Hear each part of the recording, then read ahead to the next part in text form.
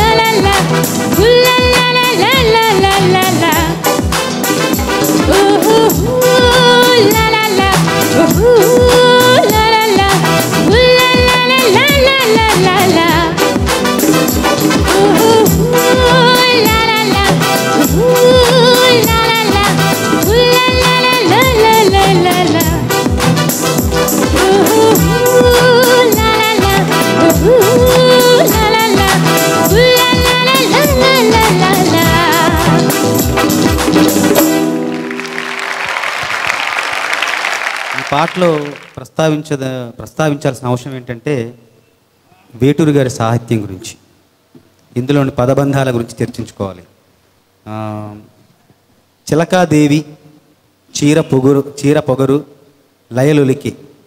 చిలక అనేది ఒక సాధారణమైన పదం దేవి సాధారణ పదం.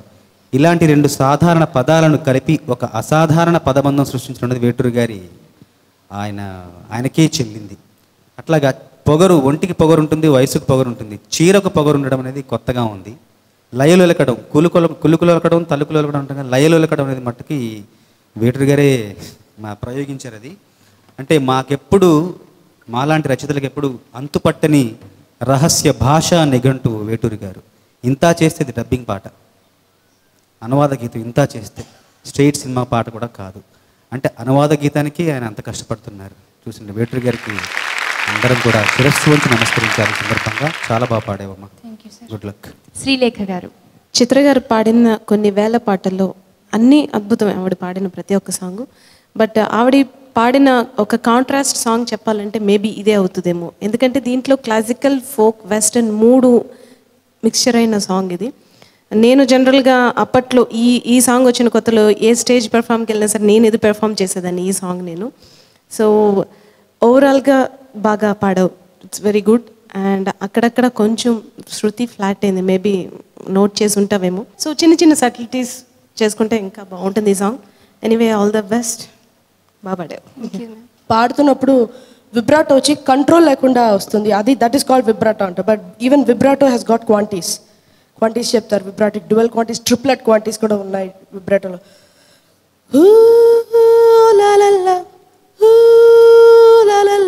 this is without vibrato